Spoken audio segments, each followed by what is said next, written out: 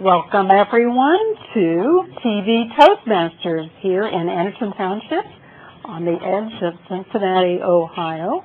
And I'm saying that because there are many TV Toastmasters all over the country, but the best one is this one here at the Anderson Community Center on ACT television. So, welcome. I'm Sheila Mudd Baker. I'm the Secretary of TV Toastmasters, and I'd like to welcome you to our April 5th, Thursday night, 6 p.m. television show and meeting. And to begin this evening, let us welcome the Toastmaster of the day, Carol Kormelink.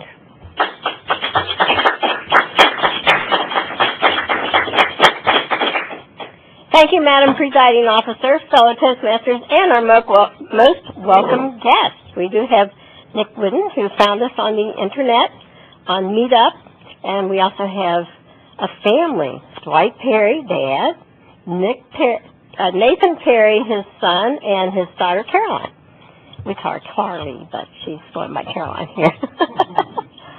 We'd like to welcome everyone and our viewing audience. And if you would like to come visit us, feel free to come anytime, 6 p.m. Thursday night or the first Thursday of the month or 9 a.m. the third Saturday. We have fun in our meeting. If you, if it isn't fun, it isn't Toastmasters. I would like to start our meeting with our impromptu session. We like to have a word of the day to help increase our vocabulary and our grammarian, word counter, all, all counter word power is Shankar Raza today. Thanks, Kelly. Good evening, everyone. Just for the kicks, I thought to uh, just throw out the word and, and, and see how many of us already know the meaning of ostensible. Spelled O S T-E-N-S-I-B-L-E.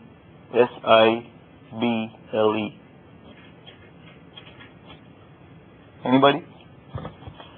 So ostensible is used as an adjective um, and it means professed or pretended,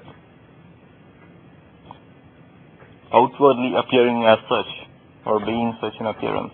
To use it in a sentence, an ostensible cheerfulness concealing sadness Another usage could be the ostensible purpose of the trip turned out to be a trick to get into the party, to the surprise party. So I'll leave the word of the day here, which is again ostensible, which means professed or pretended. Thank you. Thank you.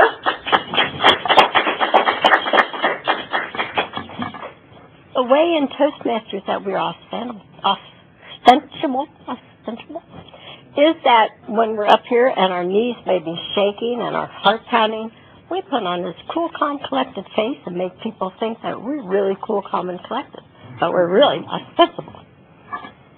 Our next part of the meeting is the impromptu part. It's a lot of fun, and when you first come to table topics, you're going, oh, I hope they don't call on me. But after you get up and you have so much fun, then you're upset if they don't call on you in the future. And our table topics, you have one to two minutes to answer a question, not of your choosing, and you have the option to either tell the truth or make up something, let your imagination go wild, or say, that reminds me, and talk about something else. So you have a lot of leeway. It helps you to think quickly. When your boss asks you that question, you can't say, oh, well, let me get back to you. You have to come up with something, and this teaches you how to think instead of letting your brain shut down. Our Table Topics Master today is Shankar no, that was the wrong thing. Is Chris Tehan wrote the wrong place it. And let us welcome Chris to our Thank you, Madam Toastmaster. Good, uh, good evening. Ostensibly, it may look like I was prepared for this, but uh, this was done in the last uh, uh, five or ten minutes. Um, I work downtown, and today is opening day for the Reds uh, and for baseball. Actually, technically, I think there was probably a couple games last night or the day, be- day before. I don't know when it officially started, but uh, today was the Reds opening day, and I was downtown working and watching everybody go by and, and get, wearing their Reds gear and getting ready for the game. And, and even though it was just a touch chilly, it was uh, it looked like a beautiful day out, and I wish I could have been outside going to the game, but I was stuck inside uh, working. So with that, I thought we'd have that as a theme for our our uh, table topics uh, this week is around baseball and opening day, since today is opening day. So Carol, uh, what is your favorite baseball uh, experience or memory, either personally or watching professionals play?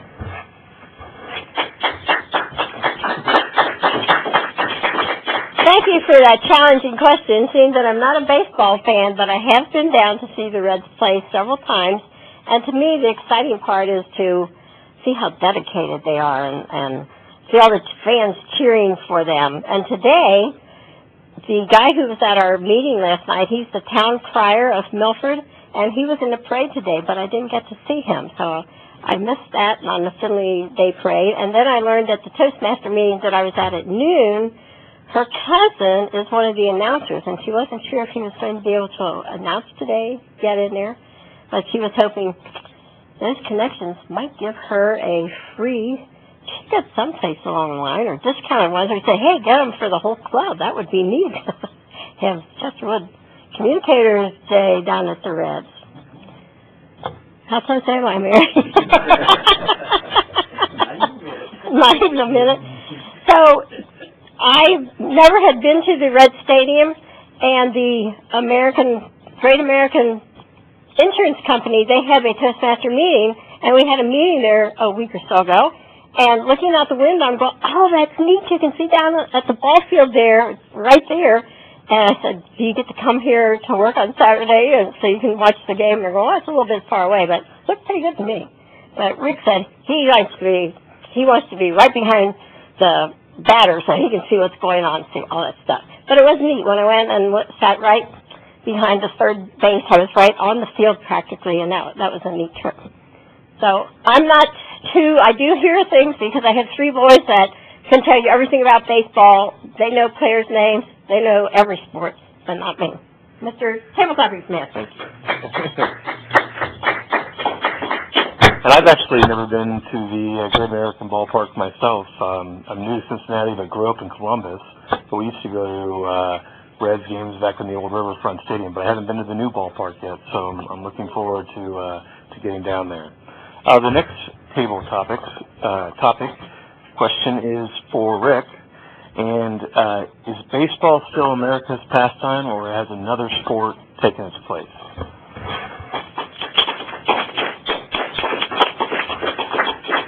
Thank you, Chris. Is baseball America's national pastime? I would think the Major League would like you to believe that. But if you look around these days, fewer and fewer kids are playing baseball, and more and more kids are playing soccer. Everywhere I turn, there's soccer mom stickers on the back of minivans, people going to soccer tournaments, going to soccer practice, playing with soccer balls, using those hacky sacks so that they can practice their soccer skills. We have a baseball diamond in our neighborhood that sits empty all year long. No pickup games, no neighborhood kids playing baseball out there for fun and excitement. It sits empty all year long. So based on my observation of Americana, I would say that no, America's favorite pastime is no longer baseball.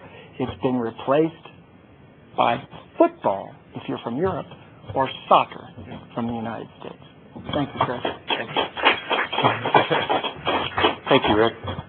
And I actually uh, agree with you that uh, certainly uh, soccer is becoming more and more popular, and actually I'm a fan of uh, watching soccer overseas because it's just so much more beautifully played over overseas uh, uh, versus in America. But although it is getting better in America, but I think uh, NFL football has really kind of taken over as America's national pastime. But uh, but hopefully baseball doesn't lose its grip too much.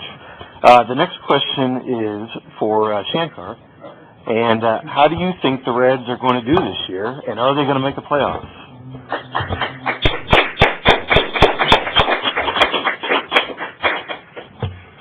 Thanks, Chris. If I'm evaluating Reds, I'll be one of the terrible evaluators because I haven't followed any of the games that Reds played. I've been only once to the uh, stadium watching Reds and Indians, and uh, I, if I remember right, the Indians won the game, and all I did was eat cheese coneys. Not to mention the cheese coneys were super good from uh, the Skyline Chili. So if I were to evaluate Reds from that one game that I saw they played last season, I would say they were uh, not on par with uh, some of the biggest uh, uh, teams playing this season, so they should be ending up somewhere in the middle. If that answers the question.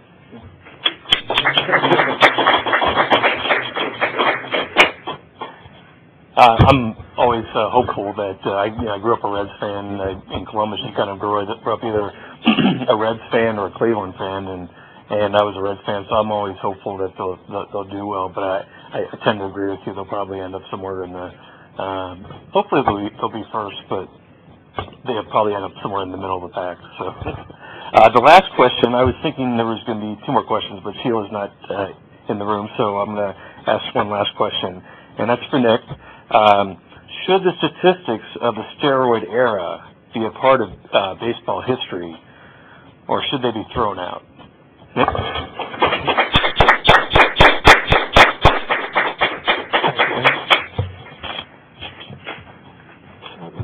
steroids in baseball history, it's been a hot topic for a while. Uh, unfortunately, steroids were a large portion of baseball for a while. With that being said, it's debatable if they should be part of the history because it gave an unfair edge to some of the players. But it was part of the history. I mean, that is the history of the sport. So I, I do think it should be incorporated into the history. Uh, and the, stati- the statistics should be kept, although they should probably be marked somehow so that it's noted that there were drugs involved, but was an unfortunate part of the history of the sport.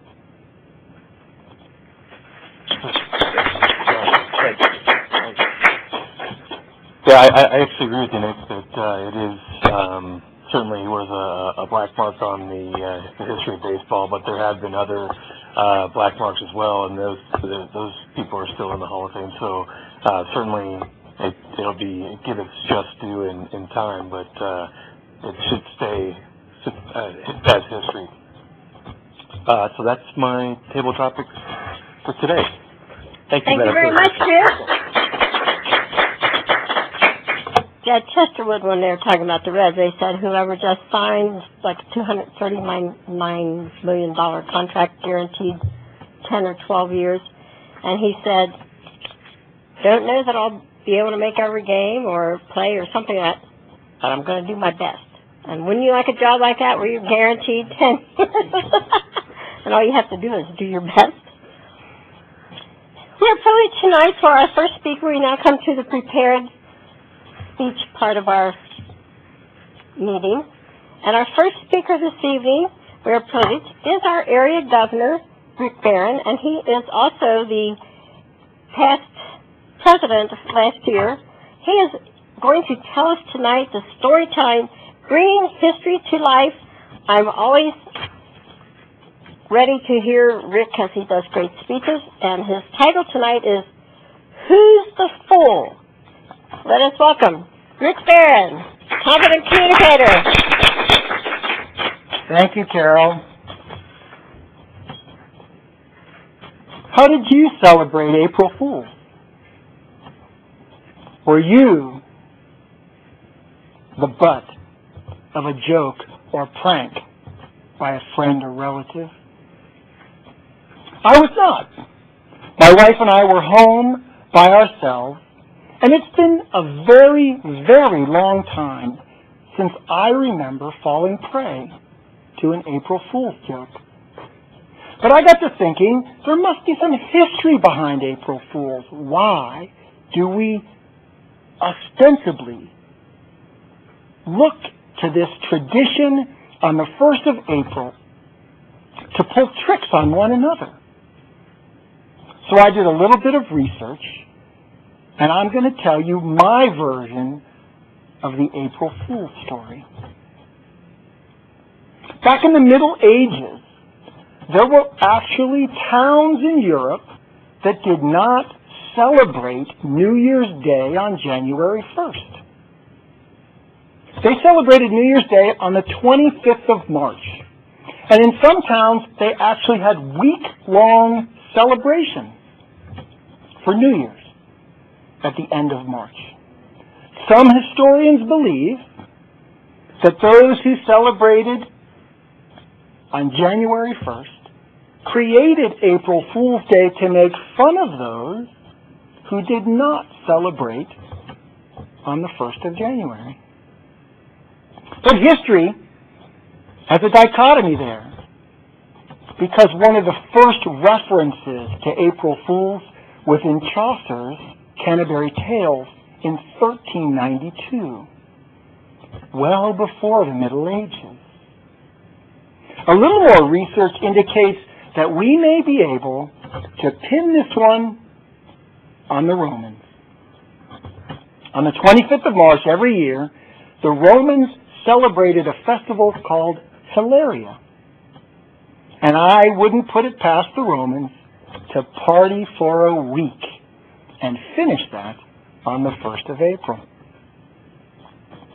I sat back and I thought of the all of history, there must be some really fabulous April Fool's pranks that got pulled.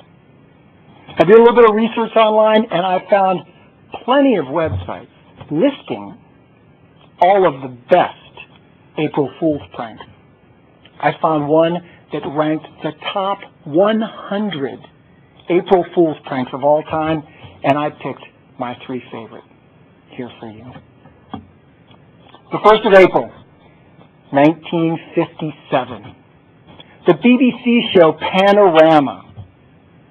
The announcer is talking about the bumper crop of spaghetti in southern Switzerland. He indicates that the crop is so big because of the mild winter that they had and the quote, near disappearance of the spaghetti weevil, unquote.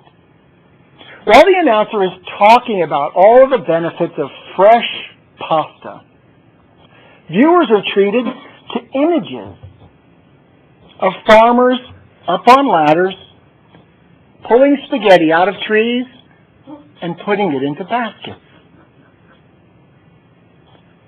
The BBC was flooded that day with phone calls asking how they could grow their own spaghetti tree. Callers were told to take a sprig of spaghetti, place it into a can of tomato sauce, and wait. I wonder who waited the longest. April 1st, 1962. Swedish television station STV announces a major breakthrough in technology. They cut to an Einstein looking gentleman sitting in the studio with a television set. He talks technically about how television works and starts using phrases like the prism nature of light, double slit interference, and then pauses and says he has discovered a way to turn black and white images into color. and that people could do it by placing a thin film over the front of their television screen. He indicates that viewers can use simple pantyhose to stretch over the television screen and watch programs in color. He cautions that you must make sure that you're at the proper distance from the set and that you may have to move your head from side to side every once in a while just to get things to line up. To this day, there are Swedes who remember parents and grandparents racing through the house, rummaging through drawers to find pantyhose that they could cut apart and stretch over their television set so they too can watch programs in color. I wonder how many pantyhose were ruined that day by people thinking that they could convert their sets to color. April 1st, 1996. The Taco Bell Corporation runs full page ads in six major newspapers announcing that they had just purchased the Liberty Bell. And we're going to rename it the Taco Liberty Bell. They indicated that it was an effort to supplement the national debt and suggested that every major corporation should buy a piece of Americana to help lower the national debt. They likened it to adopting a mile on a federal highway. You see those signs that says that this portion was adopted by a specific corporation. A few hours later, they issue another press release that indicates people will still be allowed to view the Liberty Bell, but that unfortunately it was now going to split its time between Philadelphia and the Taco Bell headquarters in Irvine, California. Well, people were outraged, clamoring into the National Park Service. Unfortunately, the National Park Service does not own the Liberty Bell. But that didn't matter. Crowds flooded in to both the Park Service and the Taco Bell headquarters saying, how could you possibly do this? At noon, on April 1st, 1996, the Taco Bell Corporation issued another press release stating that the purchase was a hoax and that they would be donating $50,000 to the city of Philadelphia for the care and maintenance of the taco, no, of the Liberty Bell. As you can see, Americans are very ostensible. My question is, who's the fool? If you were duped by a friend or family member on Sunday, you may have thought that you're the fool. But I say that we're all fools. We all want to believe, and we all want to know that there's something in it for all of us. Ms. Toastmaster. Thank you, Rick, for that enlightening speech. You all have these little ballots and brief evaluations to write a note of encouragement to the speaker, what you understood, what he did well, what he might do a little better. And I've always not liked April Fool's joke because they do make a fool of someone, and I subscribe to Fly Lady who teaches you how to organize, and she has these wonderful purple rags. And she said, we're not going to carry them anymore. Within, as soon as I hit the airway, she had 200 replies. How could you do that to us? So, I, and then she said, those April Fools. I will be quiet for the moment, and then we will be right back. Welcome back. We will now have our second speaker of this evening. Our second speaker is speaking from the Competent Communicator Manual, the basic manual. And she's on project number seven, research your topic, and the topic of her speech is farewell. Farewell, Sheila Mudd Baker, Distinguished Toastmaster. Distinguished Toastmaster Sheila Mudd Baker, farewell.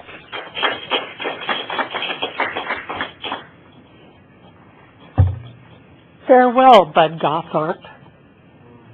Bud, Bud Gothorpe, who had been the manager of this television station, a member of the board of directors for this television station, the volunteer par excellence of all of Anderson Township, passed away yesterday of leukemia. Farewell, Bud. My favorite photo of Bud is a photo of Bud wearing a Viking helmet with the horns, standing in front of a reconstruction of a Viking ship, having a great time, laughing, laughing. And that's part of what I think Bud will experience in his next life. A great time. Because Bud experienced life to its fullest when he was alive, and he shall do the next life in the best and most wonderful way. So people would believe a lot of things about what makes an afterlife. If you were an ancient Sumerian, you believed you sat around under the dirt, eating dirt, staring at other people covered with dirt. Not a very exciting afterlife. If you were an Egyptian, your soul divided into parts, a ba and a ka, and ka stayed behind with your body, so you had to have it mummified because it needed a job after your death. And the ba made the journey to the gods. And if it was really, really brave and very lucky, it would make it all the way and celebrate with the gods. That is, if you were the pharaoh. Nobody know, knew what happened to those people who weren't pharaohs. But as time went on, everybody decided they wanted that too. So everyone believed that eventually they could make it. As long as evil spirits didn't eat your soul, your, your ba, that is, and as long as you could fight off enough gods to make it all the way to the end, you would be fine. Christians, of course, believe in heaven and hell. Some Christians believe in heaven, hell, and purgatory. If you're Jewish, you don't believe in hell, but you don't believe in the same kind of heaven either. Um, kind of like a halfway house, or a Sheol is what it's called. And if you're a Muslim, you probably uh, believe if you're male, you're going to have a great time after your death. If you're female, not as much. But we would hope that it would be just as good for women as it was for men. If you're a Hindu, you believe you're probably eventually going to be reincarnated, just as you do if you are a Buddhist. You're probably going to be reincarnated. Now, you might get a stopping point along the way where you get to enjoy real pleasure, but you're going to move on to another life. So there are a lot of different beliefs people have about life. So many books have been written about the afterlife. Some of the more popular books are books by people who claim that they died, they remember their death, they looked down into the operating room, they saw their bodies, they moved on to heaven or to hell. So their books about there's so much time in heaven or so much time in hell. Um, hell wasn't so much fun, but heaven seemed pretty nice. You get to see all of your relatives, which is you would hope you like all your relatives, so you get to see, you know, all of the relatives who have passed on before, and a lot of a lot of groups believe in that. If you were an American Indian, you might not believe that in the same way. You believe that you, depending on your tribe, of course, your your nation, you might believe that you're going to be reincarnated, which a lot of the tribes believe that you would come back again. You would hope to be born into the same nation, the same tribe, but you might not. Um, or you die and you die in the wrong circumstances, like you, you know, were drowning, some spirit would come and eat your soul, and then that would be a bad thing. So I kind of like the idea of Bud Gothorpe standing in front of the ship with his horns. You know, I kind of think of Bud as being a man who uh, has a great time uh, with uh, Viking gods. Not that he believes in Viking gods, but since his ancestors were Vikings, and you're going to hang out with his ancestors, he's got to hang out with the Viking gods that they believed in. Uh, and if nothing else, he got to go sailing because he really liked the idea of sailing on that Viking ship. So that would probably be something close to what Bud would want. He'd want that combination. You get to see all the relatives that came before. You get to hang out with people with really great armor, and great armor who love to have a good time. Mine. Well, I'm not quite sure about what my heaven would be. I know that my dad said he didn't want to be uh, wearing white wings and wearing a white robe because he always got things on them, and that I'd be the same way. And he really didn't like the sound of harps, so he was hoping for something else. I know it wasn't an accordion because he didn't care much for that or, or banjos. So uh, he said he'd prefer not to go to that kind of heaven. There are some people who believe that in heaven there is beer, which I believe covers most people. But uh, there are others that believe that uh, heaven has a beautiful city, a heavenly city. I would really be upset if heaven had a gated community. That wouldn't be nice at all. We'd like to believe that in heaven we'd all have a lovely time and get along well together and not have to worry about anything. Uh, I'm not much into the idea of an eternal heaven. I kind of like the idea of being rotated. So uh, my mother, who uh, was from the west of Ireland, believed in the idea of reincarnation because that's an old Celtic belief. And she said that uh, if you didn't do a really good job of being a human being, you got to come back again and try it all over again. So uh, I know that Bud Gother was a great human being, so he's just going to have to go off to that great Viking heaven. But I'll be back, and I'll see you then. Farewell. Goodbye, Bud. Hope to see you in some other life. Bye.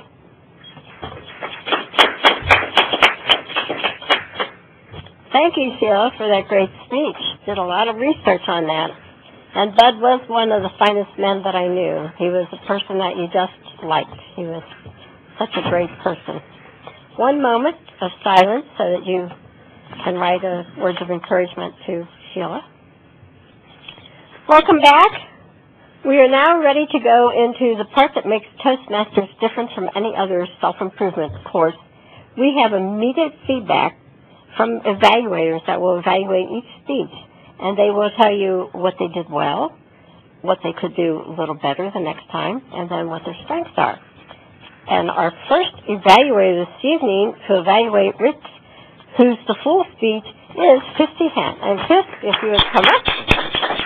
Thank you, Madam Toastmaster.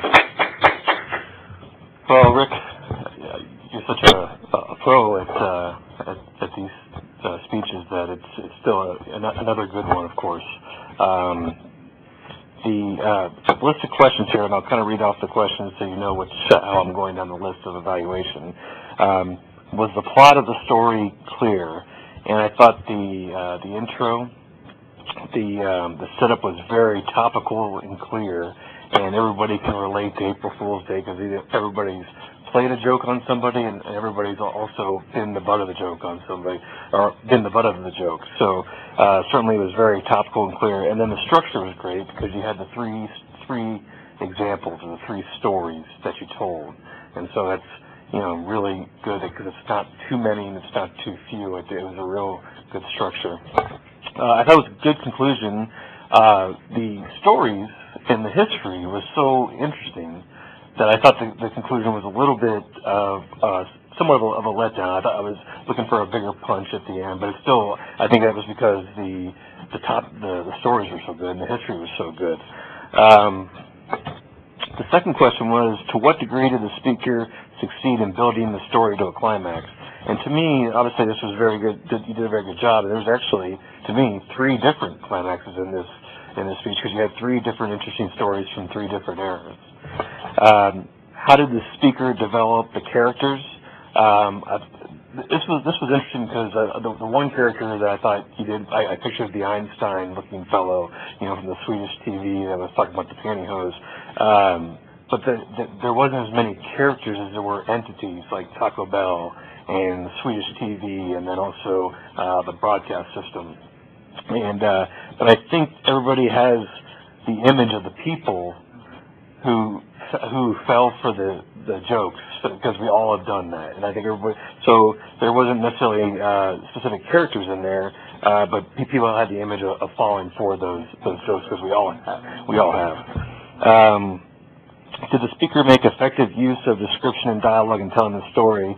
Um, you, you did the rummaging through the drawers and racing through the house, and you, um, you know, you, you, you posed the question of, I wonder who sat there uh, the longest with that twig in the, in the can, you know, and so, uh, so, that, so certainly did very well at uh, description and, and, and dialogue t- in telling the story. And did did you great, gain greater insight into the historical event? Um, and I should have backed up and, and mentioned again that the, the topic of this uh, speech was bringing history to life. So, did you gain greater insight into the historical event or uh, or person the speaker was uh, talking about? And you went through and talked about the history of April Fools, and some some believing that it was still a day, or maybe some people believe it was a week, or uh, January 1st versus April 1st, the Romans, Canterbury Tale. So very good developing of the and a lot of educational stuff uh, going on there. Um, and three major stories of uh, three different eras. Uh, you also used the word of the day, which was great, incorporating that. And how effectively did the speaker use vocal variety when telling the story? And I think that's what something your speeches are always uh, uh, very good because you use a lot of uh, pauses and, and inflection and, and, and different tones and, and different patterns of speech. So uh, very good. And then you also use uh, quotes and the list of top 100 and climbing the ladder. Those were all good um, vocal and visual varieties for, for telling the story. So once again, great speech. Thank you, guys. Thank you, Chris. We have now have our second evaluator, and Rick Barron will be evaluating Sheila Mudbaker's speech on farewell. Where's that clapping? Thank you, Carol. Gotta give you the wave of encouragement up here. Was that some ostensible clapping there? Is that what that was? Mhm.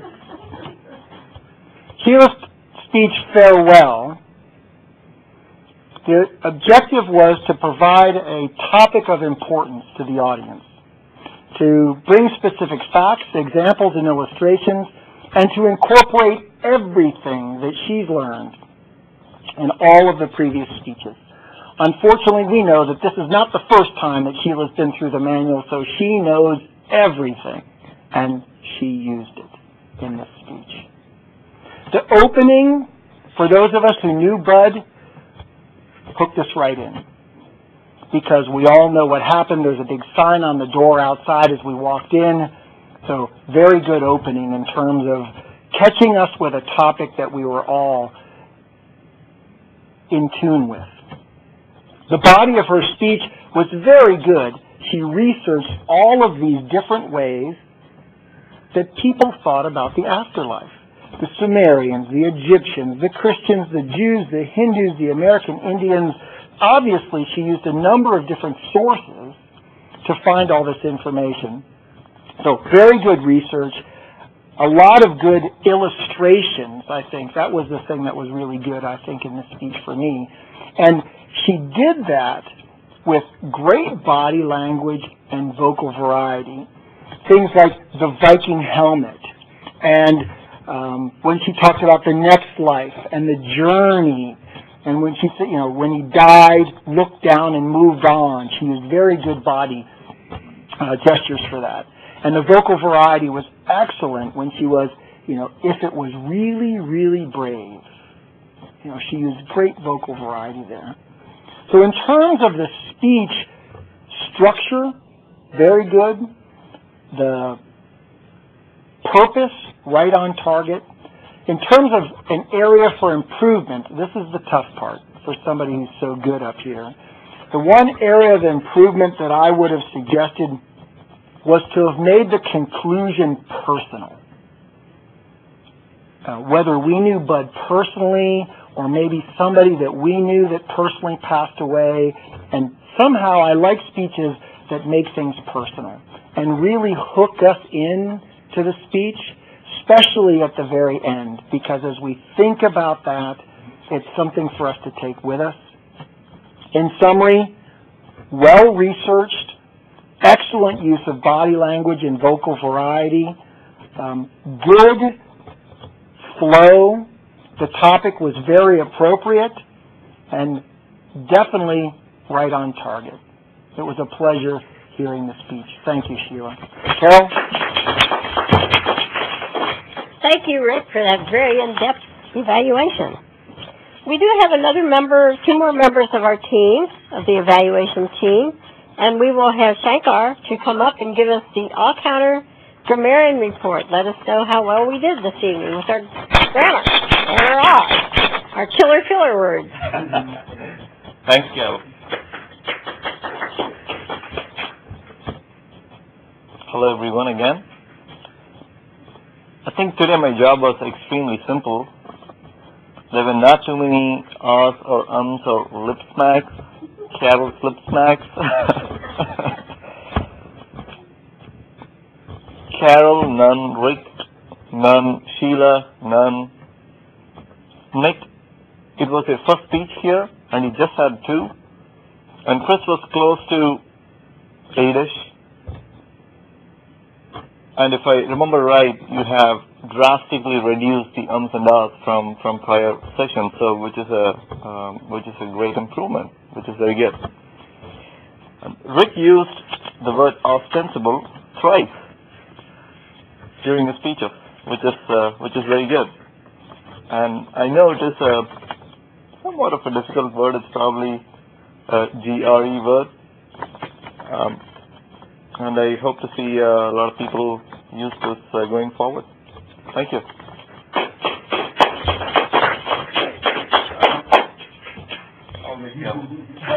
Thank you very much. And our last report is the timers report. If Mary will come up, Mary Arms, and give us the timers report. Mary Arms, let's hear some clapping. Good, that's better, that's better. Thank you. Thank you very much, guys. well, timers Report is to report everything you guys said. What you do, how you do it, everything. Now, on the word power, I forgot to time that. So, we're going to go table topics. Carol, you're a minute and 48 seconds. Rick, a minute and 18 seconds. Shankar, 50 seconds. And Nick, 55 seconds. And you guys did longer than I ever have. Uh, and the scheduled speakers, Rick, you were 8 minutes and 55 seconds. And Sheila, 6 minutes and 26 seconds. I'm sorry, 6 minutes and 36 seconds. In the evaluation, Chris, you were 3 minutes and 51 seconds. And on these, there looks like 2 to 3 minutes, normally, without going over. And Rick, you were 3 minutes and 3 seconds. Shankar, on the grammarian, a minute and 4 seconds. And thank you very much. Thank you, Mary.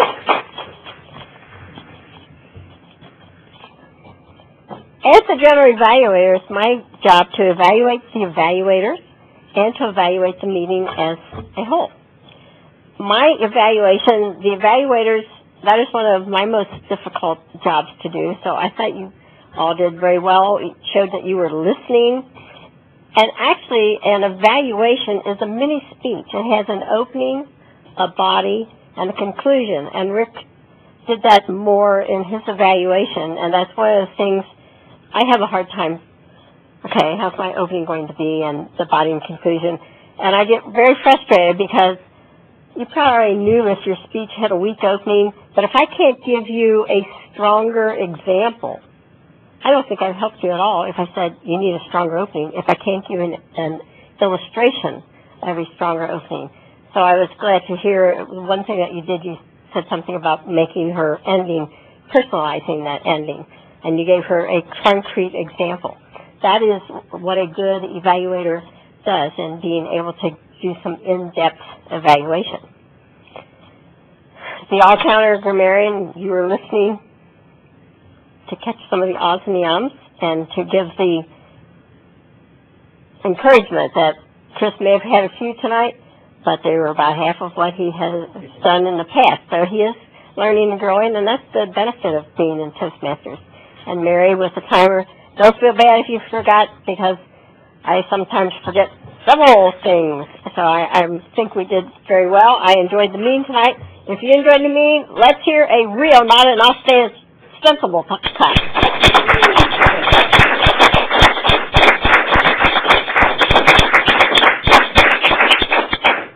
And I will return control of our, let's look and see if she's come. Does she need the door open. Return control to our presiding officer tonight, Sheila, who will have comments from the guests. Sheila Mudd Baker, Distinguished Toastmaster. that was quite a rush. I ran out of the uh, the control room. So I want to start with our very youngest guest, Carly, also known as Caroline. Please come up here and tell us what it was like to be our camera assistant tonight. So what was your favorite, come on up here. What's your favorite part of this meeting, besides watching Dad? Um, I don't know, but I do like listening to people talk. I'm not sure why, but I do. Well, that, that's good, because that's what we like doing. We love having an audience, so thank you very much. Will you come back and visit us again with your dad? Sure. Good, great, thank you. Okay. Nick, please come on up.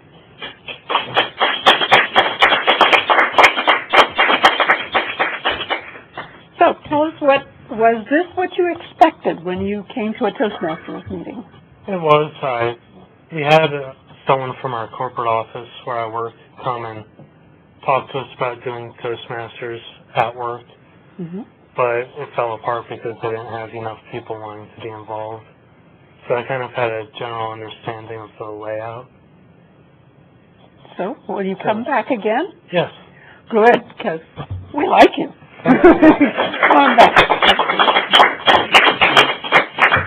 We have our cameramen, but we need them, so they're not allowed to come up until, I think, come on another, another time you can, uh, come up and speak. Uh, during this last, uh, week, we had the, um, contest for the Western Division and the Loop Divisions of, um, Toastmasters. And what does that mean, Western and Loop? It means that big circle around Cincinnati and the areas south and north of it, and a little bit into the east, all the way to West Virginia.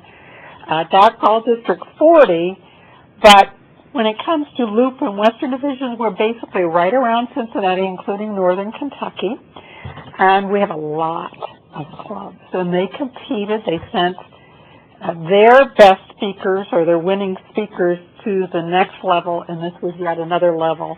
Had and the winners from the Western Division and the Loop Division will move on to April 27th, 28th, 29th, especially the 28th. We're going to have another contest here in Cincinnati on way out in Eastgate. It's not way out in Eastgate if you live out there, but if you live in Anderson, it's way out in Eastgate.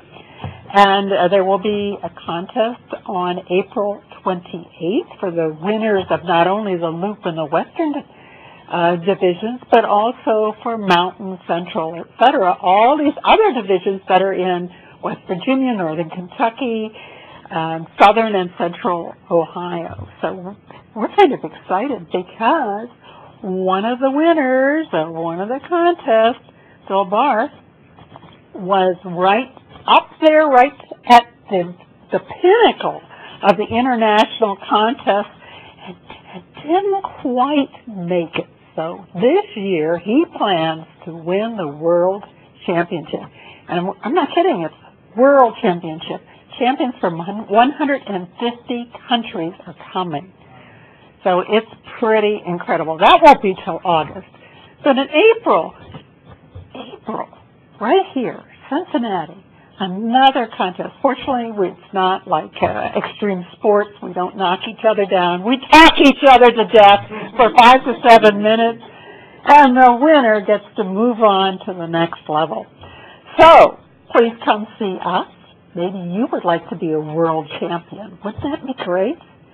Come here on the first Thursday at 6 p.m. This is the Anderson Community Television Station. Come here for TV Toastmasters then. or come on the third Saturday of each month at 9 a.m. Yes, 9 a.m. So get your coffee, come on in, have a good time. You don't have to speak unless there are very few people, and then if you're lucky, you could be like Nick and be called on to come up and be a table topics master, top master, table topics speaker. But if you sure you don't want to talk, but you want to be in the audience, bring a lot of your friends mm-hmm. because then you can all agree that you don't speak, but they do. And until next time, have a great time. This is TV Toastmasters for April 5th, 2012. We're now done.